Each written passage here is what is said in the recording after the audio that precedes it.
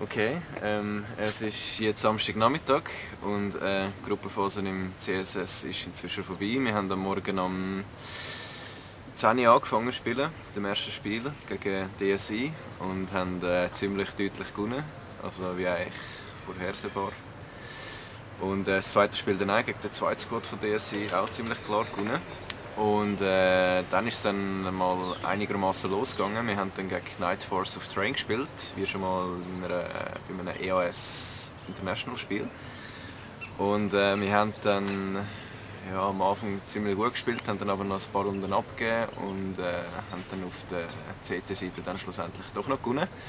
Mit irgendwie 16-12, so viel es mir ist. Und äh, dann ist eigentlich das Highlight von der Gruppenspiel gekommen, das Match gegen Suba. Äh, leider haben wir dort auf das 2 gespielt, nicht wie vorher gesehen auf CPL Mill. Wir wissen ja nicht selber wieso dass die Map geändert hat. Auf jeden Fall haben wir einen ziemlich guten Start gegen Suba als T. Haben ähm, äh, Pistol-Runde geholt und die andere Runde auch noch gerade.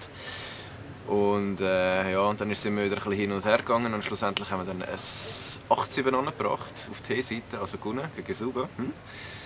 Und äh, dann beim Seitenwechsel ist es dann äh, ja, ein bisschen straub geworden. Dann haben wir die Nerven an und äh, wir haben keine Runde mehr geholt bis zum 16-8 und äh, haben dann verloren.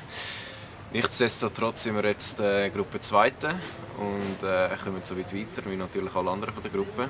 Ähm, wir starten im Winner Bracket gegen den dritten von Gruppe B. Das wird Inferno sein. Äh, ist ein bisschen das dümmste Los, das wir verwünscht haben, weil die anderen Gruppendritten wären nicht so stark. Inferno ist eigentlich äh, das zweitstärkste italienische Team.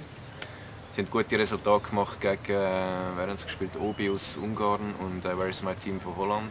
Und äh, ich denke, das wird ziemlich krass. Aber ähm, mal schauen, vielleicht äh, können wir sie überraschen und äh, dann doch noch gewinnen. Ähm, ja, und wenn wir würden gewinnen, dann würde ein Catch 23 dran kommen und äh, dann wird es richtig übel. Oder wir kommen direkt ins Loser Break, das wird sich dann zeigen. Ja, das mal so bis jetzt und äh, hören uns und sehen uns später noch.